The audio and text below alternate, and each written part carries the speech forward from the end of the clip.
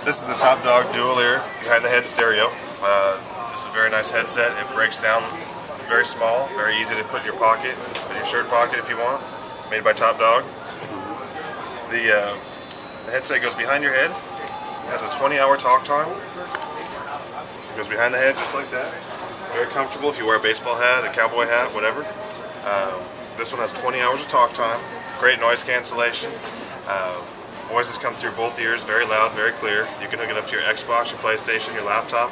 Whatever kind of Bluetooth device you have will hook up to this. Awesome. Thank you.